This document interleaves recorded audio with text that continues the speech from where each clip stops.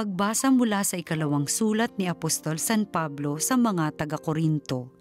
Mga kapatid, kailangan kong magmapuri bagamat wala akong mapapala sa paggawa nito. Ang sasabihin ko naman ngayoy ang mga pangitain at mga pahayag mula sa Panginoon. May kilala akong isang Kristiyano na dinala sa ikatlong langit, labing apat na taon na ang nakalilipas. Hindi ko lang matiyak kung yaoy pangitain o tunay na pangyayari. Ang Diyos lamang ang nakaaalam. Inuulit ko, siya'y dinala sa paraiso at hindi ko nga matiyak kung ito'y pangitain o tunay na pangyayari. Ang Diyos lamang ang nakaaalam. Nakarinig siya roon ng mga bagay na di kayang ilarawan ng salita at di dapat bigkasin ni numan. Ipagmamapuri ko ang taong iyon, ngunit hindi ang aking sarili, maliban sa aking mga kahinaan. At kung ako'y magmapuri man, hindi ako lalabas na hangal, sapagkat totoo ang sasabihin ko. Ngunit nagpipigil ako sapagkat ayaw kong humigit sa nakikita at naririnig ang pagpapalagay ni numan sa akin. Ngunit para hindi ko ipagyabang ang kamanghamanghang pahayag ng Diyos sa akin, ako'y binigyan ng isang kapansanan sa katawan na nagsisilbing pamalo ni Satanas upang huwag akong magpalalo.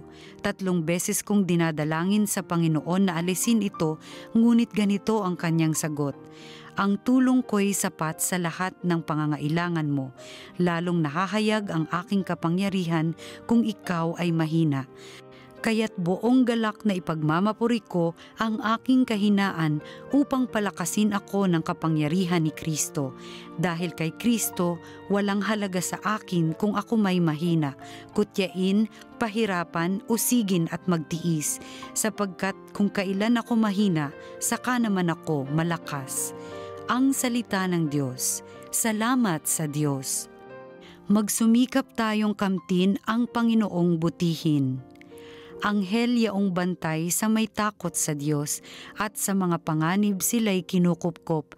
Ang galing ng puon hanaping masikap, yaong nagtiwala sa kanya't naligtas ay maituturing na taong mapalad magsumikap tayong kamtin ang Panginoong butihin. Matakot sa puon kayo kanyang bayan nang makamta ninyo ang lahat ng bagay. Kahit mga leyon ay nagugutom din, sila'y nagkukulang sa hustong pagkain. Ngunit ang sinumang ang puon susundin, sa anumang bagay hindi kukulangin. Magsumikap tayong kamtin ang Panginoong butihin. Lapit ako'y dinggin mga kaibigan at kayo ngayoy aking tuturuan na ang Diyos ay dapat nating katakutan, ang buhay masaya at mahabang buhay, di ba ninyo gustong inyong maranasan? Magsumikap tayong kamtin ang Panginoong butihin. Ang mabuting balita ng Panginoon ayon kay San Mateo. Noong panahong iyon, sinabi ni Jesus sa kanyang mga alagad, walang makapaglilingkod ng sabay sa dalawang Panginoon, sapagkat kapupuotan niya ang isa at iibigin ang ikalawa, paglilingkuran ng tapat ang isa at hahamakin ang ikalawa. Hindi kayo makapaglilingkod ng sabay sa Diyos at sa kayamanan. Kaya't sinasabi ko sa inyo, huwag kayong mabagabag tungkol sa pagkain at inumin na kailangan ninyo upang mabuhay o tungkol sa damit na kailangan ng inyong katawan. Hindi ba't ang buhay ay higit na mahalaga kaysa pagkain at ang katawan kaysa pananamit? Masdan ninyo ang mga ibon, hindi sila naghahasik ni nag-aani o kaya'y nagtitipon sa bangan Gayunman, pinakakain sila ng inyong amang nasa langit. Hindi ba't higit kayong mahalaga kaysa mga ibon? Sino sa inyo ang makapagpapahaba ng kanyang buhay ng kahit isang oras sa pamamagitan ng kanyang pagkabalisa? At bakit kayo nababagabag tungkol sa pananamit? Isipin ninyo kung paano sumisibol ang mga bulaklak sa parang. Hindi sila nagpapagal ni humahabi man. Ngunit ito ang sasabihin ko sa inyo.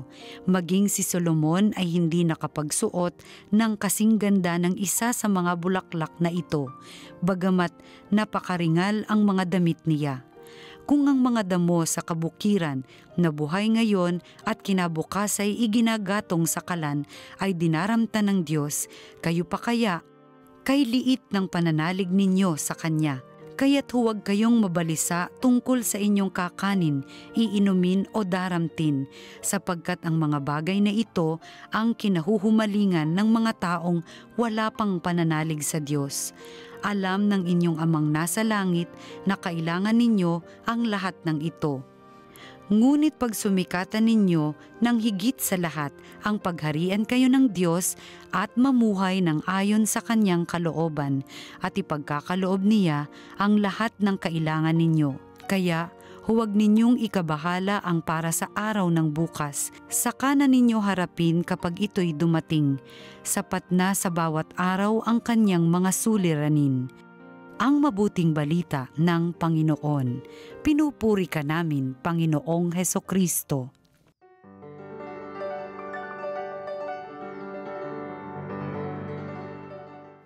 Si Pablo ay may malalalim na karanasan tungkol sa Diyos siya ay may mga pangitain.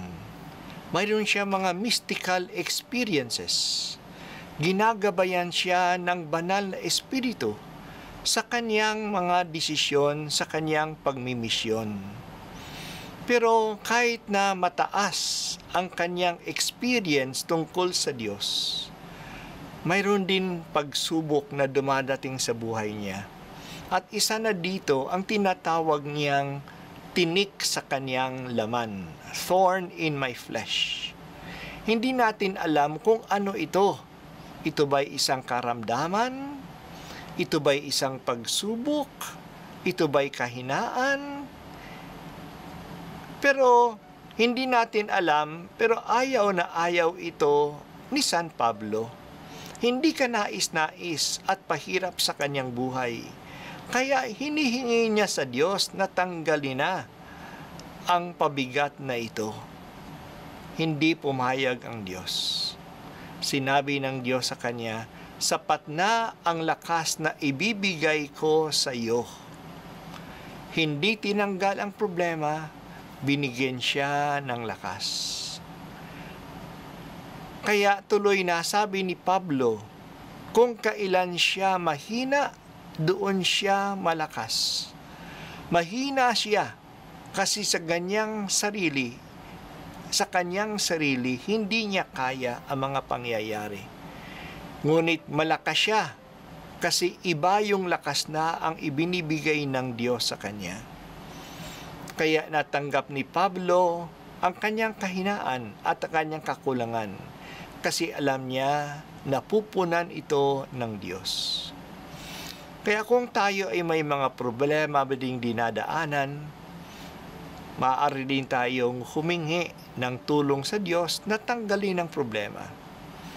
Tanggalin ang tukso. Tanggalin ang karamdaman.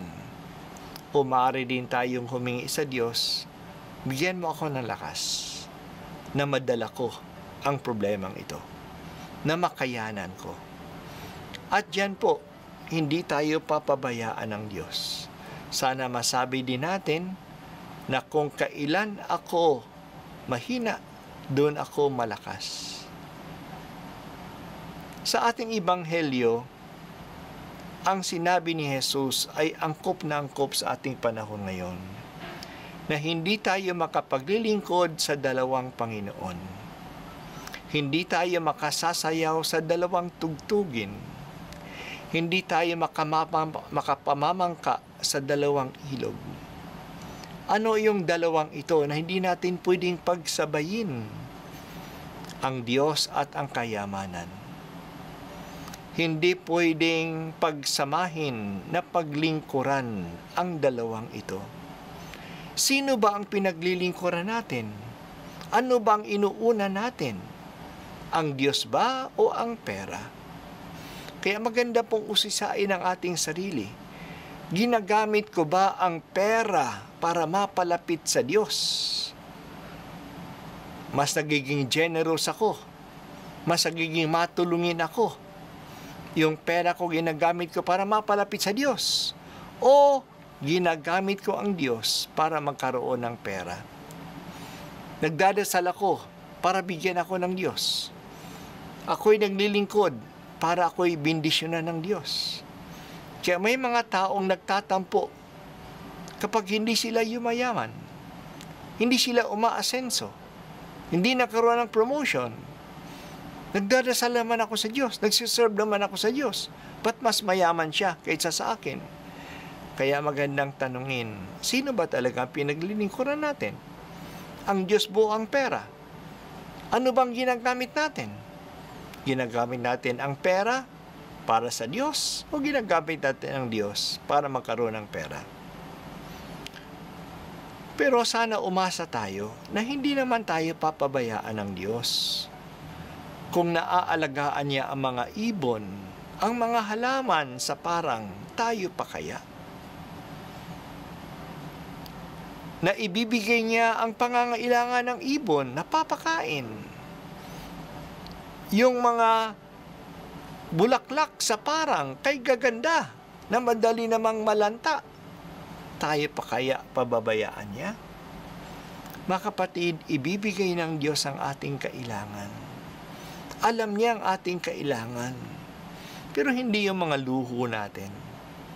At madalas, ang mga hinihingi natin, hindi naman yung ating kakanin sa araw-araw, yung kailangan natin. Ngunit baka yung mga luho na mga sobra na.